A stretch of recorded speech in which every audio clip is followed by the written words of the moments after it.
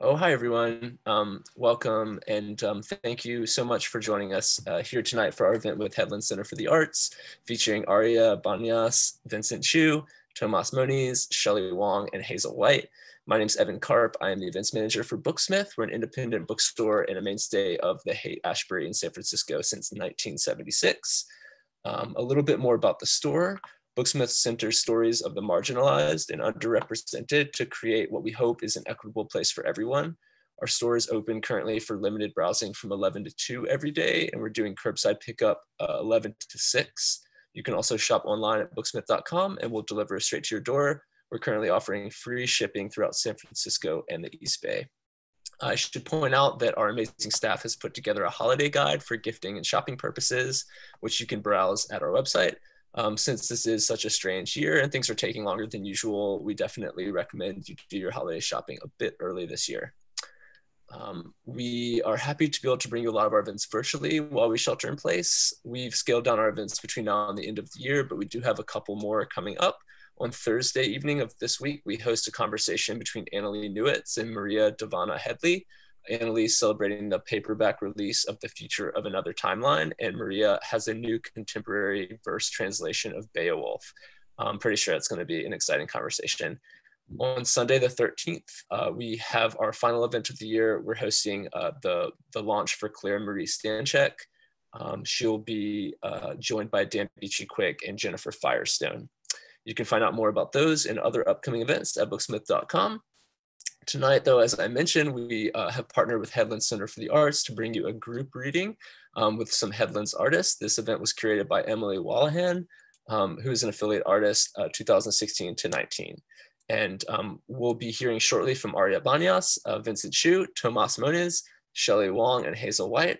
I'm going to turn it over to Emily in a moment, but um, uh, Emily will be your host for the evening. But just a few house items um, I'm sure you've seen at the top right of your screen, there's a chat window. I encourage you to show the artist some love there. Let us know where you're tuning in from. And uh, if you have any questions at any point, you should ask them there in the chat. We uh, will have time for a Q&A at the end of the program. We also have a one strike policy in the chat. Um, nothing hateful or trolly, please. We'll be forced to remove you and it won't be fun for anyone. Um, and finally, um, these authors have books and you should buy them. Support your favorite authors and your favorite um, neighborhood bookstore. I will um, paste the links in the chat, but also if you scroll down just a little bit underneath your video embed, um, you'll see links for the books. Um, I think that's it for me. You can also find out more about Booksmith and the Headlands at our website. Um, but without further ado, I'm very happy to turn it over to Emily and um, want to thank you all again so much for being here tonight.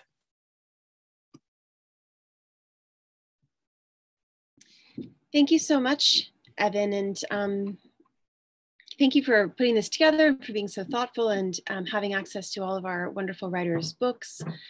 Um, I am really grateful for this evening and to be able to pull these writers together, uh, these amazing writers of the Affiliate Artist Program at the Headland Center for the Arts. I'm going to um, introduce the Headlands a bit and then introduce our first reader and um, get this amazing evening started. Um, the Headland Center for the Arts is a multidisciplinary and international arts center dedicated to supporting artists, the creative process, and the development of new and innovative ideas and artwork. Um, in normal times, the Headlands uh, supports artists local and afar through their affiliate, um, sorry, their artist in residence program, as well as the affiliate program and they um, offer these artists studio space. Uh, they hold open houses three times a year and invite the public in, and it's really congenial and wonderful. Um, of course, this year has been different, and um, it's put our events online, of which there are very many um, wonderful Headlands events that most are recorded um, and available on the website if you want to catch up on past ones. Um, and there's, uh, I think, only one event left for this year. Is tomorrow.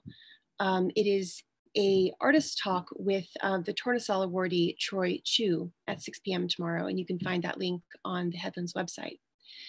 Um, this has also been this has been a different year for the Headlands, and it's sped up some changes that the Headlands um, has been planning for a long time. And tonight you will hear work um, by five writers in the Affiliate Artist Program, as I've said, um, which I was also part of a few, for a few years and um, benefited from deeply. The affiliate artist program has been um, put out to pasture, however, as um, followers of the Headlands might have received their uh, information about. And this group of writers is the final group. Um, but for a final group, they are really ending the program in style. This is an incredible um, group of writers, uh, accomplished and talented and doing really interesting and important work. So um, I'm really pleased to be able to showcase them tonight. Um, what else do I wanna say? The Headlands will continue to do their good work. It'll continue to change. Um, I feel lucky to have been part of uh, the affiliate program when it was up in 960 and um, just really special times. So I'm grateful to be here, grateful for tonight. And I'm gonna introduce, um, without further ado, uh, Ari Banias as our first reader. Ari Banias is a poet and the author of the poetry collection Anybody, which was a finalist for the Kate Tufts, Discovery Award and the PEN Center USA Literary Award. His forthcoming collection, Asymmetry, will be out next year. He also had a chapbook by the same name um, from the Song Cave, which is a pretty cool publisher, back in 2018. Um, his recent poems appear or are forthcoming in Beast, Hyperallergic, Kenyon Review, The Nation, and The New Republic and Ari lives in Oakland. Give it to you. Thanks so much, Emily, um, for that. And thank you for organizing. Um, it's really great to be here. Um, and thank you also to Booksmith and Evan for hosting this. Um, yeah, it's a real honor to be here um, and to read alongside Shelley, Vincent, Hazel, and Tomas tonight. And I'm just going to jump in and um, read from that book that Emily mentioned, um, which should be out in about a year. Um, and I don't do lots of bantering between poems, so I'll just um, tell you a few things you might need to know along the way, but mostly I'll just be reading. Um, the first uh, poem is um, called Practice. I try to hold in my mind a chemical fire in Texas a chemical explosion in Yancheng, a passage by rubber boat from Kusadasi to Vathi, without even the before or the after, as though discreet as I can hold the mad king going madder, the spotless meeting room, a team of lawyers, the hemorrhoids of a team of lawyers, the soothing creams, each purchased individually or the parched fields I have in my view, a pink bucket on its side in the garden all winter, a barely contained moment of ecstasy on a golf course, stomping hard with my boots on spongy, treated earth. Julie fucking Andrews. I shout into the high winds toward a brown scribble of unmanicured woods. Gales from the west southwest, the thousands of second homes standing empty, swamps from which the spotted salamander emerge after thaw, after how many gallons of fuel in enormous steel tanks arrive at their destination intact. What can it possibly mean to remain intact, to oppose smug minimalism? What can the 22,000 metric tons of trash entering the ocean today in the bloodstream, in the paperwork, in the partially masked resentments in any work forced in the corn, in the soy, in the wheat, I try to hold in my mind as I hold in my mind a white van and an ATV, yellow as a 90s Sony Walkman, the chocolate milk stain birthmark on your right inner thigh, right next to your pussy like a witness, glossy ivy climbing the trees, having snared a single gray shopping bag tattered spirit bird again in the exhaust vent, making its nest. My fingers in you and your face while I do that mythic and ancient face of centuries, comedy, tragedy, microplastics buried imperceptibly in the face I can't completely hold, the face I love.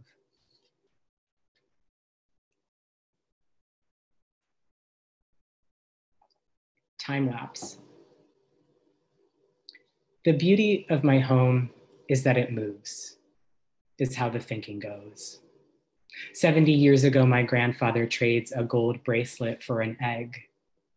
A salt particle from the volcanic boulders dissolves, reconstitutes into terraces, footpaths, little heaps of goat turd.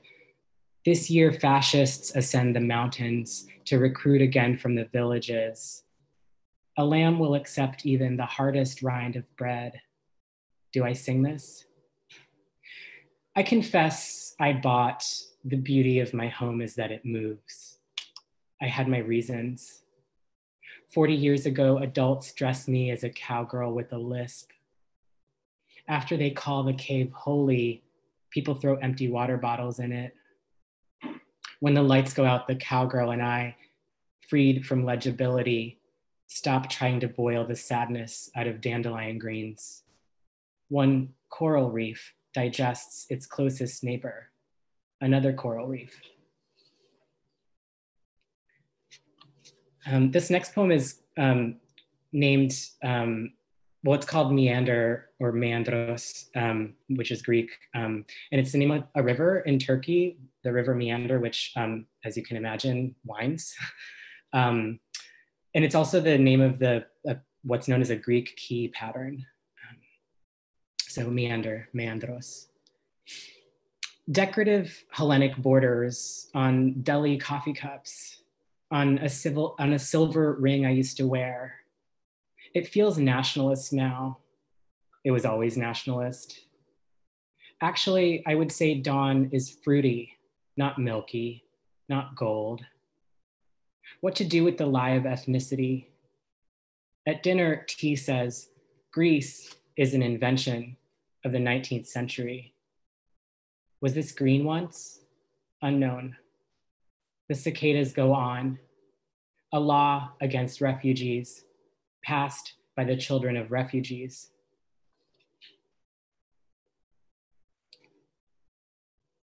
Pronoun study.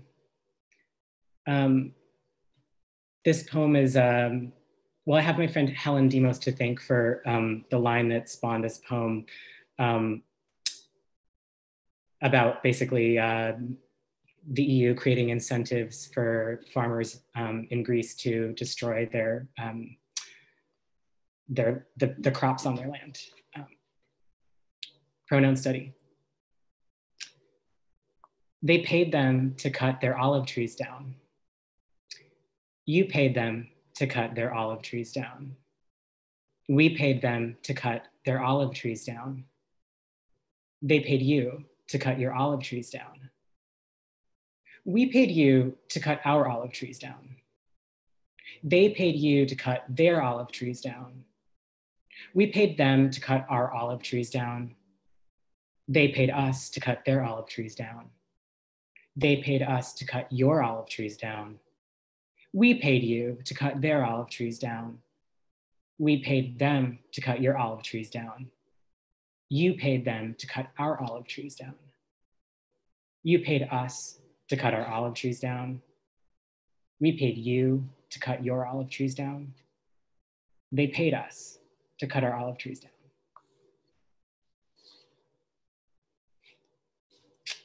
And um, I'm going to end with this. Um, it's called Playa Vista. It's named for um, a neighborhood in Los Angeles. I even love the gnats was thinking this as I walked through a marsh marked private property bordered by a six lane road with blocks of new construction, sandy orange, peachish beige condos right in the path of the sunset. Later, I was thinking, I even like this long blonde strand of hair here beside the hotel pool, caught on a rivet, fixed to the plywood lounging platform painted black and faced in wood laminate so as to appear stylish. It's cheap. The wind blows a bit, then settles.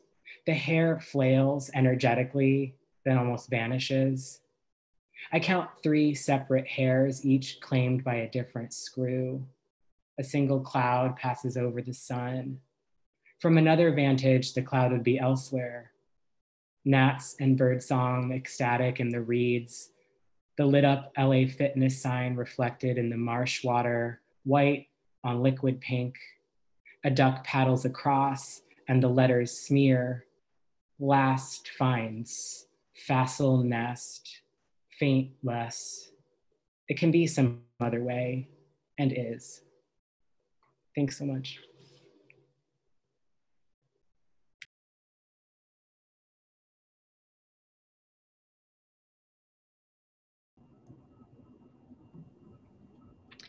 Thank you so much, Ari. That was really, really wonderful. Um, next up, we have uh, Shelley Wong, which I'm really looking forward to this reading as well. Um, Shelley is the author of a very anticipated As She Appears, uh, coming out in 2022. Uh, it was the winner of the 2019 Pamet River Prize, and she also has a chapbook called Rare Birds from Diode Editions. She has received a Pushcart Prize and fellowships from MacDowell, Kundiman, and, the Vermont Studio Center. And um, I follow Shelley on Instagram where she posts, sometimes posts pictures of the headlands. And I always love seeing, um, in fact, you, you had the hallway of 960 recently, it was very beautiful. So um, with, uh, welcome. Thank you so much, Emily. And it's a pleasure to be here with uh, my fellow affiliates. And I really look forward to the day when we can all gather and celebrate each other in person. Um, thank you all for joining us today. Let's see, I'm going to read uh, a couple Headlands poems and then um, some different pieces. This first poem is Inventory. At the last preserved Nike missile site in America, a deer walks between the barbed wire fences. A bell in the distance, a bird, a bell, a boat. Someday I'm that deer, or the one bringing it water. Fog floats through the eucalyptus, its bark shedding like pages. The coast is the first line of defense. Overlooking the bay, a carpet of, of ice plant, tilting Monterey cypress, one toyon tree. When you go to the ocean, you tell the truth. During Fleet Week, the blue angels scrape against the sky. In the water, sea foam gathers in the shape of a whale. The ocean was the forgetting, a way out of the papers. In place of God, I hold other forms of devotion a bell in the distance calling names, fireworks and paper, my best inventions.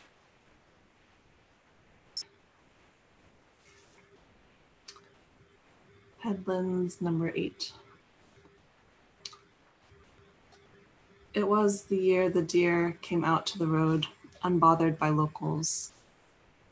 Cleared of fog, the evergreens are fading perpetual what is constancy along the West Coast? There are differing timelines as to when we pass the point of repair. Battery Alexander, Battery Wallace, Battery Mendell. Along the green roofs, I see travelers instead of soldiers. In the quartermaster building, I write poems in the attic. I do not desire to command myself. A hawk arcs over the decommissioned missile site, where 19 year olds held the nuclear codes, surveilled the sky, chanted the numbers like a dial, an awful chorus. Draw the airplane for peace, strike the colors for annihilation. No doubt these days, all of the weapons are now housed in the pink shed Berries emerge in the trees along the entrance to the tunnel. On the hillside, pampas grass strike the earth like arrows. At times, I sense I am perceived as out of the elements, an anomaly. In the widescreen aperture set in the hillside, I stand in the cement circle in place of the gun. Excuse me. Let's see.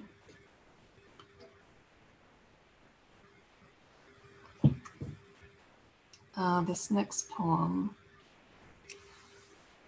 is fresh and part of a seasonal series I began in graduate school in 2013. So it's been quite a journey to lock this last one into place. Um, it's a series that explores visual narratives of women through seasons um, and using the lens of fashion to talk about family identity, transformation, uh, desire, and in this one, protection. So this is called the winter forecast. This open interval, when nightgowns stalk the field, unraveling their light. As an inoculation against loneliness, the models hold hands. In Chinese characters, two trees make a forest. In French, the ocean is masculine, the sea feminine. How does a rhyme determine our fate? Daughter, laughter, slaughter. There are two ways to survive analog and digital. We can hear tree rings rendered as sound. Aboard the single swan boat, she cries, It's not the underworld. A bird possesses both a sound, both a song and a call. Silence can be a skin, for the encore, the girls dim their dresses and sleep, spun in silk, a finger to their lips, no trespassing on the runway. Women in black embroider orchids in the orchestra pit. Await the next transformation, capes aside. Dialing a rotary phone, she needs an outside line.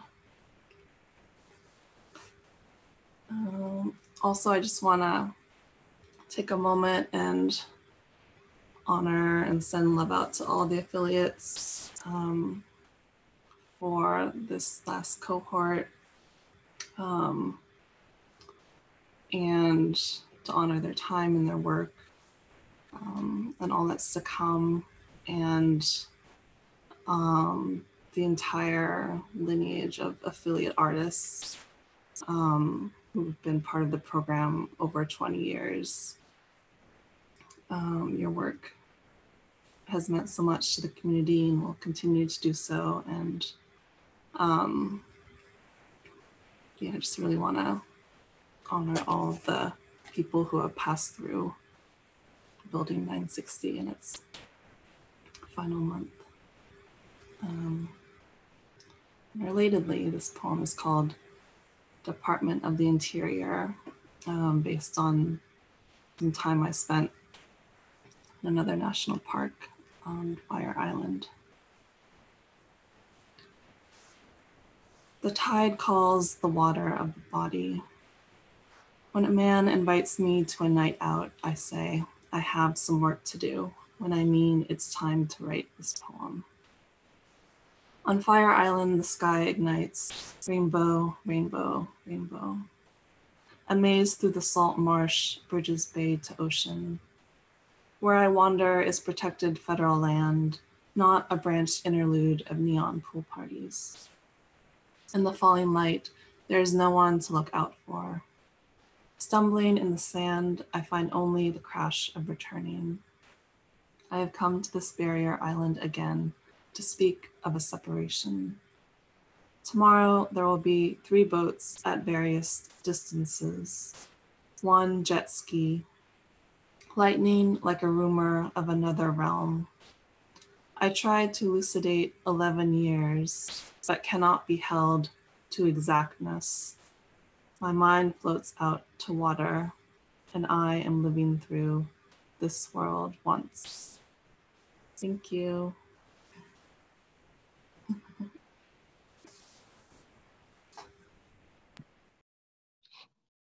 Thank you so much, Shelley. Um, really wonderful work. And in your second Headlands poem, I loved hearing about the pink shed, which I thought about so many times. Um, and thank you for your words about the affiliate program. I, I'm, I'm very much more in its, um, its passing. Um, next up, uh, we have Vincent Chu. Um, Vincent is a Area writer and author of the debut story collection Like a Champion, his fiction has appeared in Still Magazine, Fjords Review, Pithead Chapel, Pink Magazine, and elsewhere. He is a um, he's an affiliate artist at the Headland Center and has been a Cambridge Center Fellow and is a member of the Writers Grotto, which I believe is facing its own pandemic changes. Um, but I'm so glad that uh, you're here, Vincent. I can't wait to hear, hear your work. It's always such a pleasure. Thank you so much, Emily, and thank you, Evan, and um, thank you, fellow affiliates. It's great to see you. Um, it's an honor to join you guys tonight and, and to read with you. Um, so I thought I would read from what I'm working on at uh, the Headlands, which is uh, a novel that's in progress and has been so um, for the past few years. I'm a bit of a slow writer. Um, and so I thought I would read an excerpt from that. And uh, the novel um, is fiction. It's a bit about travel and work and uh, technology. It's um, a bit of a comedy. And this excerpt is about, uh, uh this chapter is about 40 pages into the novel. And just to give you some background, it'll uh, probably help uh, make a little bit more sense. Um, uh, the character is a young man named Georgie, and he's decided to uh, quit his day job, his office job, and, and travel the world for one year. And on his way to the airport at the very start of his trip, he meets a very interesting stranger who convinces him to try meditation for the first time. And so that's uh, this moment in the novel, uh, which is yet to be titled. Georgie and Mindy sat across from each other on the grass. Their bags formed a teepee between them. The soil was damp, but not enough to make your pants wet. Am I sitting correctly? asked Georgie. There is no correct or Incorrect, said Mindy. But don't slouch so much. And straighten your neck. Palms up. Okay, now close your eyes. Georgie did so. He immediately felt scared and vulnerable. He opened them. Mindy was still in front of him, eyelids down, hair static in the breeze. I said, close your eyes. Mindy took a deep breath. Meditation is about taming our monkey minds. The endless chatter, fear can never really go away, but we can quiet it. Shush. Five minutes, Georgie. Focus now only on your breathing. He closed his eyes again and inhaled. Feel the air past the tip of your nose, said Mindy. Notice your chest rise and fall. Hear my voice. Now, most importantly, keep your mind from wandering. Georgie breathed in and thought about Japan. He thought about how tasty his first meal in Tokyo would be, how fast the high speed bullet train to Osaka would go. He thought about how nice the weather was going to be this time of year it was soon spring. The cherry blossoms were just a month away. Be here and now, said Mindy. He thought about his colleagues at Oates Technologies, the suckers, sitting there in that stinky office, worrying about this meeting and that hard deadline and PowerPoint. What a miserable little creation that was. Sarah C. and more were now following him on Instagram. Georgie hoped she would see his posts. Stay in the present, she said. Georgie wondered if he might get laid on this trip. It was going to be a year after all. It had been a while. There was that drunken, kind of awful one night stand from Love at First Swipe, Rose. She stopped texting him back. Now he was the one out of town. Georgie had since deleted his dating apps. Find your positive energy. Life had just become so depressing lately. Georgie was now simply doing something about it. It had begun to seem more each day that there was no real meaning to anything, no consequences, no end result. Life was just a series of arbitrary distractions, one after the other, after the other, after the other, until one morning you drop dead. Forget the outside world, said Mindy. Buying crap, saving for retirement, begging for a promotion, running some marathon, binge watching the latest BBC series. Surely there must be more, thought Georgie. Perhaps we were all meant to contribute something great to humankind. But Georgie was no artist or scientist or inventor. Was it love? Family? Creating babies, ensuring the same meaninglessness could be enjoyed by future generations. Listen to your body, said Mindy. What a jackass Georgie was. Here he was complaining about an office job when some people bled to put food on the table. Maybe life was indeed about helping others. Then again, what if the governments figured it out and suddenly everyone had T bone steaks and a mid century modern home and an electric car? Perhaps, like other animals, the meaning of life for humans was only survival itself. After that, there was actually nothing. God never planned that far ahead. Yes, Georgie was born lower middle class and would likely die lower middle class if he was lucky. This trip would set him back. It was like making a pit stop during a race while everyone else still sped ahead, lapping your sorry ass. Maybe mom was right. If he became dirt poor after this trip, he'd see the world differently. Or lost his health, got sick, that was another way to gain a new perspective. Cancer, syphilis. A classmate of a friend in college got a sore throat one evening and then just croaked over his cornflakes. Best not to think about that kind of stuff.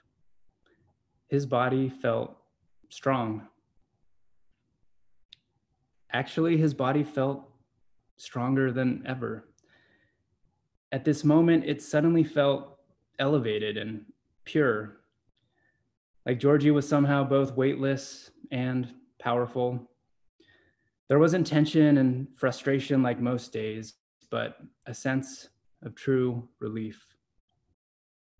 And like that, things became calm. Georgie breathed in, out, nothing more, no less.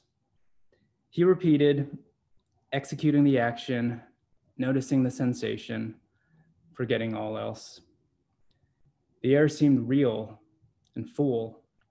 It entered his nostrils, flowed down to his heels, and then back up, exited his mouth, returning to the endless ocean of more air outside of him. He felt at ease, most excellent. Mindy didn't even have to say anything anymore. Georgie was meditating all on his own, and he liked it. Time was moving differently, even. Each breath seemed to last minutes, not seconds. In fact, it was as if more than five minutes had passed. Of course, that wasn't true. Mindy would have said something. Time was really a funny thing. It passed faster and faster lately. Would any year in the remainder of his life feel as long as a single summer as a child? Eventually, one day would be the last day of your life. How fast would that day seem? His mind was wandering again. Train. He had to catch his train. It had been more than five minutes. Definitely. Hadn't it? Georgie needed to look at his watch. He didn't care if Mindy got mad. She would understand. She was reasonable. Enough meditation already. It was time for this young man to go to the airport. Mindy, he called out into darkness. Georgie opened his eyes. He got to his feet, then slowly looked around. Mindy was gone. Mindy was gone, and so were his bags. And I will stop there. Thank you.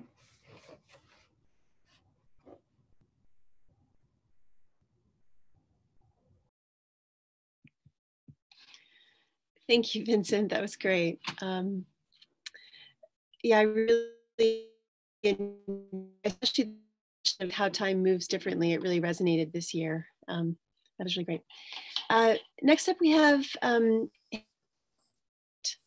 which I'm, I'm, excited to hear Hazel read as well. Um, Hazel White is the author of the fantastic collection, After Night Boat, which was a finalist uh, for the National Poetry Series, the Fence Ottoline Prize, and California Book Award.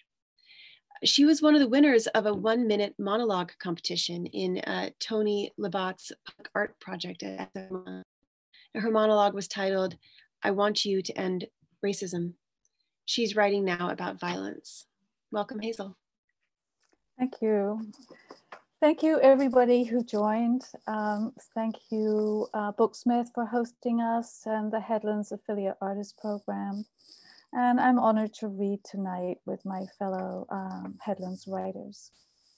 So I'll be reading from a new manuscript, and the title is a question. It's called What's Not the Same as a Purchase?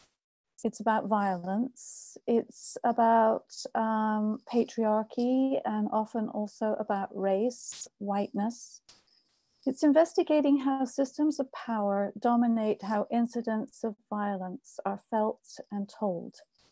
Um, I'm writing about hermeneutical injustice, how experiences that are given no meaning or uh, inappropriately little meaning are resisted and not accepted into social discourse. And I'm writing also, I think, about ethical loneliness, um, a condition of not being able to properly tell an experience of violence because the listener has a limited capacity to hear it. So I'm going to read a few pieces from the first section um, where I'm hearing, not hearing, um, military veterans um, who I met over the course of a year or two at a, an old military site at Headlands. And uh, this is the section also where I introduce one of the urgencies of my investigations, and that is that I'm the white mother of a young black son. So uh, I'll start right in at the first section. This view, uncomfortable, a verge, Marin Headlands military batteries. Northern California. The wall is four and a half feet thick. I meant to begin speaking of violence, and I would write about these tunnels. A tunnel allows a silence to be broken. I've entered these as entering caves, whispering. Instead, I retreat and borrow from Notes on the Underground, which begins the drive to modify the natural or given environment so that it will be safer is as old as humankind. I meet Derek, Cal graduate, former intelligence sergeant, US Army Special Forces on the side of the road. One of his group is carrying a pole with an American flag. I'm afraid of it, have arranged my anti-war values to be clean and orderly. But violence is present anyway. For company, I turn the car around, park, and approach a woman in the group. She directs me to him. By habit, my attention shuttles. As the view is coming and going with the fog, here it is, I am, and the air is warm, and now cold and gone, and here again, out across the water to the Golden Gate Bridge, an effort at attachment. Best of all, to see a boat out there, a secondary refuge, and to know already what here looks like from there. Vision, playing at patching together a security blanket. These headlands either side of the bridge formed a choke point, Derek tells me. Battery 129, where I stop each time I visit my writing studio at Headland Center for the Arts, was built to destroy humans, he says. But once you are in combat and you kill, or a friend is killed, nothing is any more black and white.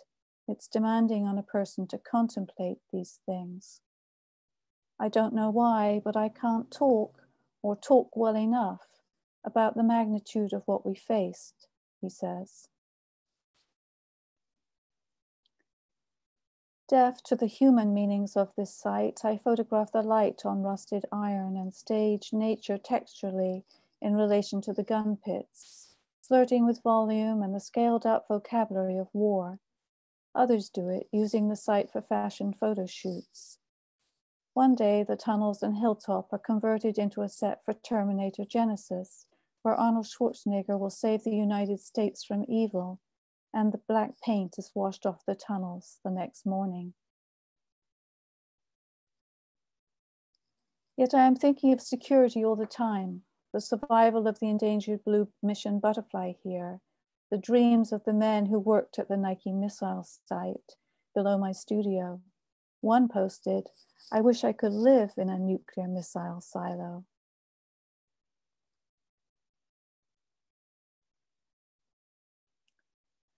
The only statement I feel comfortable making is I make cups, says Aaron Toole, potter, an ex-Marine from the first Gulf War. Aaron listens to veterans' war experiences and makes a cup for each person that includes part of their story. Some of the cups, he hopes, can be starting points for conversations about unthinkable things. He has made and given away tens of thousands of cups. One cup was passed around. A woman like me said she could never drink from it. I am mapping muteness with fragments, not articulating the full catastrophe of, si catastrophe of silence, diffusion repeating distance, words grip toward the world and the world goes spinning away, neutral, shouldering no injunction to listen. An internet search tells me Derek's a specialist in analyzing body language and speech patterns. I like him and ask him to decode mine. You're genuine, he says, or your speech suggests you are. The school children with their hoods up and sand shovels heading to Kirby Cove below Battery Spencer will know forever the weight and coldness of wet sand as somatic and cognitive experiences of measure inside and out, agreeing.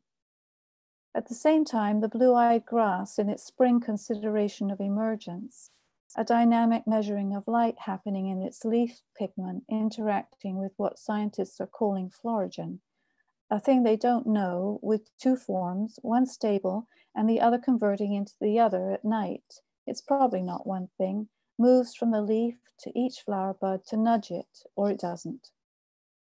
Whereas violence spreads distortions between systems, the head becomes uncanny in the face of it. My caring is present and absent, a standoff against what I allow to touch or not touch my skin. I dominate what can reach me. I can disallow hearing to keep inside and outside separate and not stir the peripheral sensations, making for a volatile consciousness, trains of action cut short, a confused text, and yet seemingly a necessary text, to associate feeling with response by writing something on paper.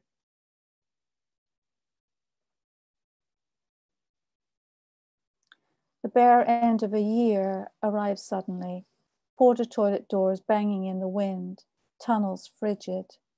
Landscape raw with consequences, too late now that each rain counts, each instance of erosion. This is a space that is going backward into itself for a very strong confrontation. I am the white adoptive mother of a young black man. Mario Woods' mother said in a long, painful interview with a California magazine that she was giving the interview to explain that if we had known Mario, we would not have been afraid of him. After Michael Brown was murdered, alone in the tunnel, I yell, hands up. Joined with others across the country in a cry for justice, my rage breaks. I hate and I weep. I crave a strong muscular motion. I itch and itch. I rant. I kick at the world. I must articulate. I will insist. Urgency of action spreads in my hands, unscrambles location, pins the writing studio. I'll end there and thank you for listening.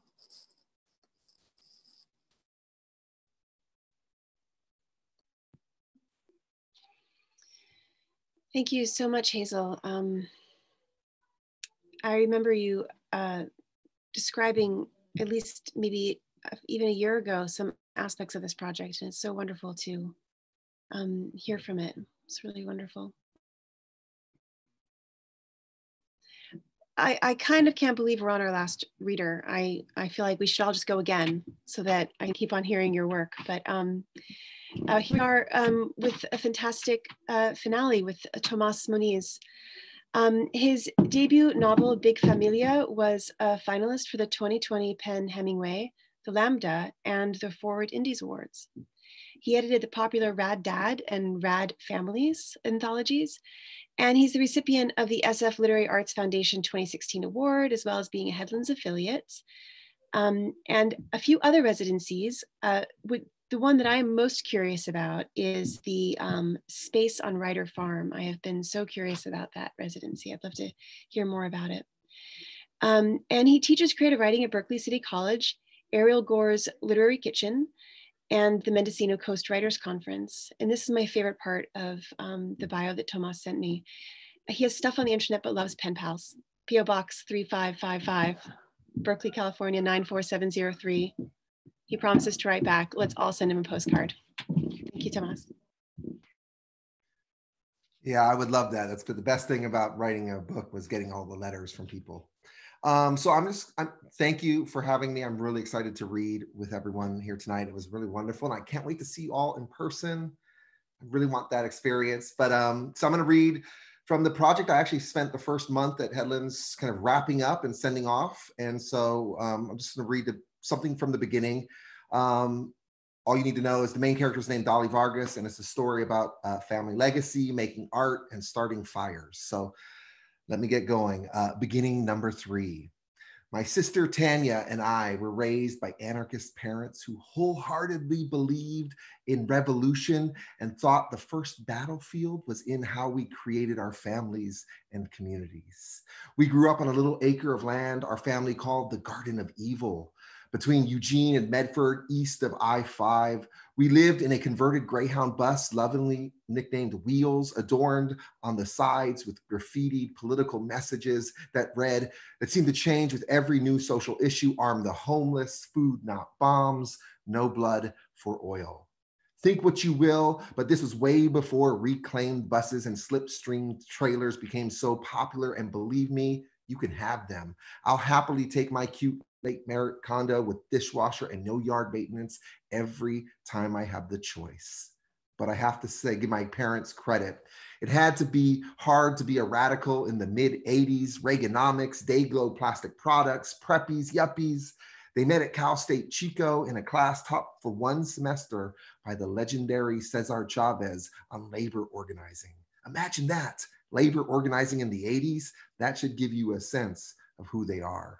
My mother, looking all viva la mujer, dark skin, black straight hair, sat with the machistas, a default Chicano security force protecting Mr. Chavez from the threats he received as news channels and newspapers chided the university for letting a dropout teach a class.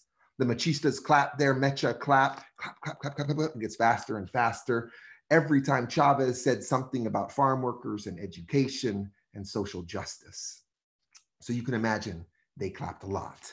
My dad, pale skin and thick mustache, one of the few white students who enrolled, sat respectfully in the back. He had read enough 60s and 70s history to know that as a white male, he should not be in the spotlight. Not that he would have wanted the spotlight, mind you. He was more of a dreamer than a leader. My mother tell us how irresistible a sensitive, radical dude my father was. She'd tell us all her friends were pissed when she started dating this white boy. Her friends expected her to stick with them, but my mother was her own woman, she'd brag. My mother would get serious and tell us, and my, me and my sister, that as women, we could fuck who we wanted to fuck, and not just because we, and just because we fucked someone once doesn't mean they get to fuck us again unless we wanted to. my sister and I would give each other, nod in agreement, and look at each other with that look that sisters can give that said, without speaking, that neither one of us knew what she was talking about, but that we'd discuss it later. Needless to say, my dad was cool with this arrangement. When he told the story of their beginnings, he wasn't sure if they were actually in a serious relationship until she asked for a key to his apartment six months after they met. He was so excited, he gave her his only copy and found himself locked out later that night. We frequented Umpqua Hot Springs, Hot Springs, a hippie hangout and radical rendezvous meeting place, though clearly posted signs said no camping nor nudity, which of course no one listened to. All the adults would talk excitedly about some tree sitting or new political issue, or on a more practical front, cops raiding growers in the area, or maybe a forest fire. They'd hang out for hours, drinking homebrew chilled in the river, smoking weed, offering to share with anyone who wanted it. During the day, Tanya and I would run around the riverbed and gather soap rocks. Uh, when you rubbed the rock on your skin, it sudsed up and created this mask like coating on your body. My mother told us that indigenous people used to clean their skin, and she'd lean into us and say quietly, like she was sharing something secret and powerful, that women would rub in spells. Now, my mom rarely ever exaggerated or spoke longer than she needed to. So when our mother told us a story, unlike our father's stories, which usually we rolled our eyes at, we believed her.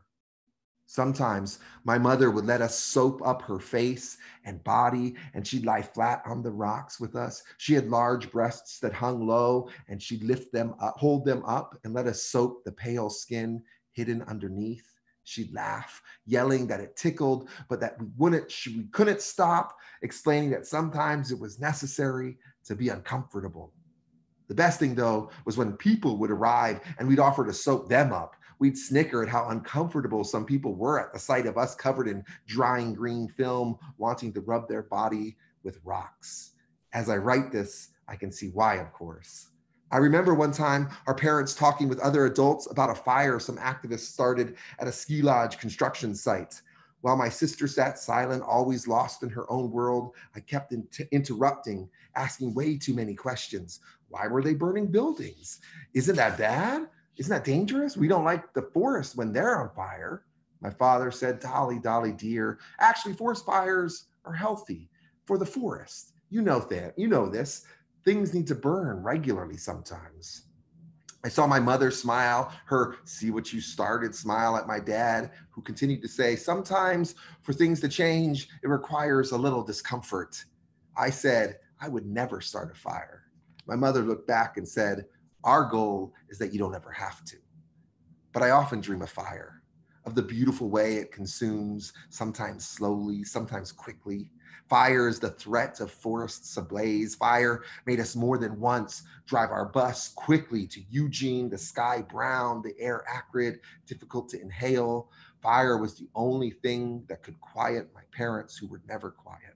Sometimes I dream how flames look welcoming, how um, uh, how this is the way that the way the fire moves like fingers of an upturned hand or like tongues multiple and hungry Fire is sex and desire, delicate and dangerous. Fires the campfires we sat around, surrounded by trees and nighttime skies and white stars. The way my parents sat and read together. The way my mother played guitar, never singing the lyrics, but humming along to All I Want by Joni Mitchell. The way they looked at each other in such a non parenting way and would leave my sister and me alone as they walked into the blackness surrounding us that the fire made even more intense. And we would sit we sat shushing each other trying to hear them. The low moans mixed with the crackle of fire i felt wrong but my sister and i smiled because we knew that our father our mother they loved each other. I like that. Let me start this confession with fire and desire. And i'll stop there. Thank you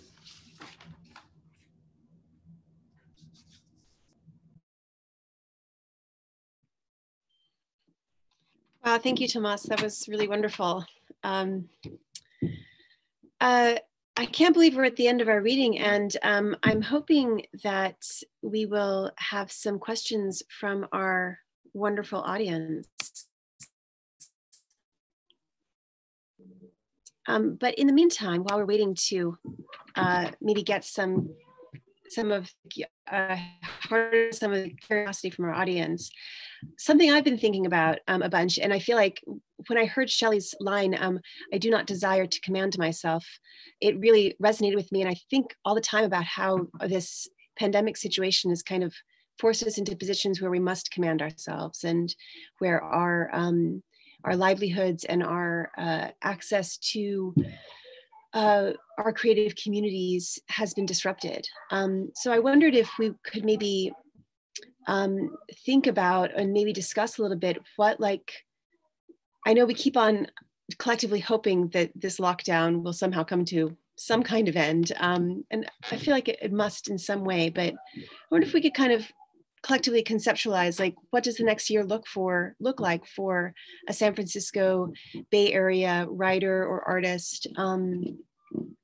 with our uh, with the happy in some ways the lucky thing that we don't require space to exhibit our work the way a visual artist does but um, that there are other precarious elements to our craft. And i wonder if anyone else has been thinking about these terms and thinking about what the next year looks for you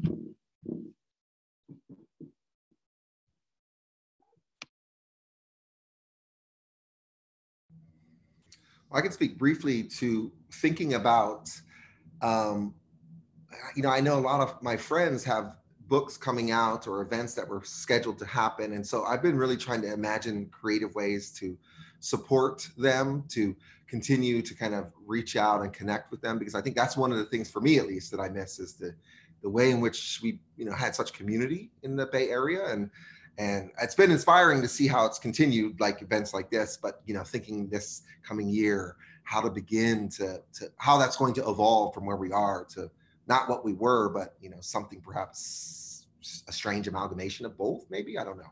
I'll stop there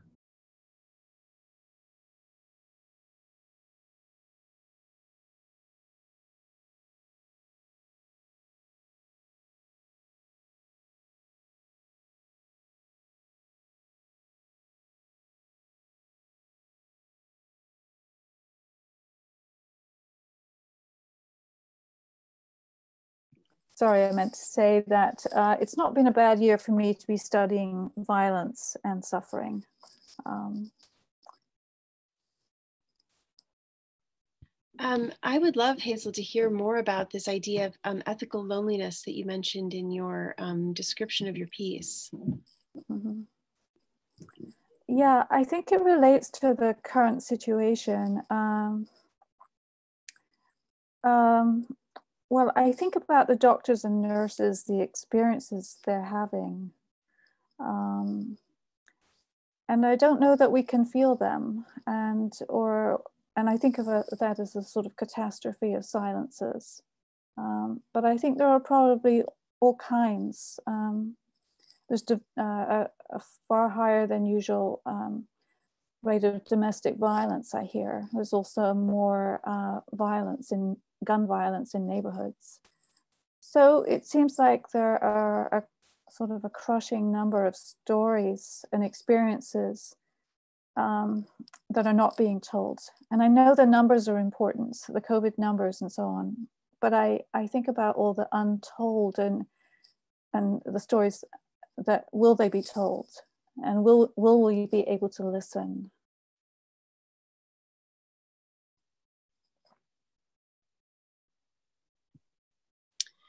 And thinking about violence, you know, I thought of um, Ari, your poems that are connected to Greece, and I wondered if you might speak a bit more about your own connection and how those poems um, came to be. Thanks. Um, yeah, well, both my parents are Greek um, and were born and grew up there. Um, so I have like family um, relationship to it as a place. And um, my, my mom lives there um, now after many years of living in the US. So, you know, I, I haven't been able to be back, but um, like since the pandemic began, of course. But um, yeah, um, I don't know, it's a place that like I have a strong like psychic kind of emotional relationship to, despite ha- never having like lived lived there properly. Um, and so I think I'm just trying to think about the ways that, you know, Greece is, you know, considered the birthplace of Western civilization, and it's also this like, w- which I, I, say critically, um, if that's not obvious, um, and then also just um, the ways it has been sort of cr- crushed um, economically and just as a place where like it's a microcosm of so many of the um, difficult and um, and like painful sort of like structural violences that we see here in the U.S. as well. Um, so that's that's kind of what I have to say about it right now. Thanks for the question. Yeah, I thought that was particularly poignant in the poem you read about pronouns that you know played with how those um, how that cycle of uh, the violence of the um, cutting down the olive tree, but then also how that experience and blame and um, uh, responsibility is like shared throughout. It was um, really masterful. Um, I don't think we're getting a lot of uh, questions from our wonderful audience. They've been so um, attentive this whole hour. I wonder if um, any of our writers have questions for each other or if we just want to, I don't know, collectively sing our praises for the experience of being able to be in a program that brought everyone together.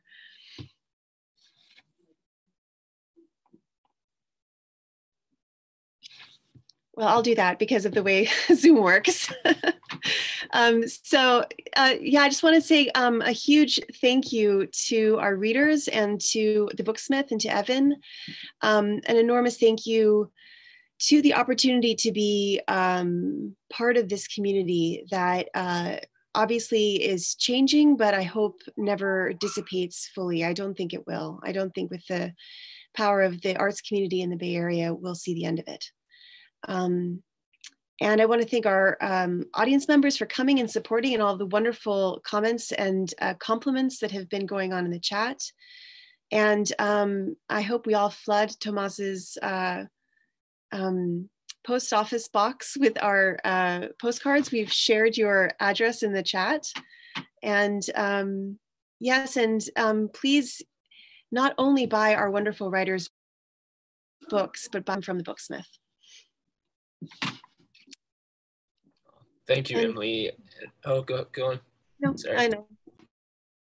Oh, I was just gonna uh, share my love for for all of your readings tonight. Um, it, this is a great group, um, uh, well curated, Emily, and um, and uh, it's it's so nice to uh to uh, to check in uh, uh, with you guys. Um, you know, I, I don't get to hear you all as often as I would like, and it's always a treat um, uh, when we cross paths again. So um, uh, keep up the good work, and um, and thank you for sharing it. Um, uh, for those of you who tuned in, thank you so much, and thanks for sharing your love in the chat. Um, uh, get some books, treat your friends and loved ones uh, uh to some books for the holidays, and um, maybe maybe make your enemies smarter. Send them your favorite books. I don't know, um, but but buy some books from Booksmith, and um, have a good end to this to this strange year. Um, if if we don't see each other here um, before then. thank you, thank you, Emily. Thank you, uh, writers, and Thank you all tuned in at home. Have a good night.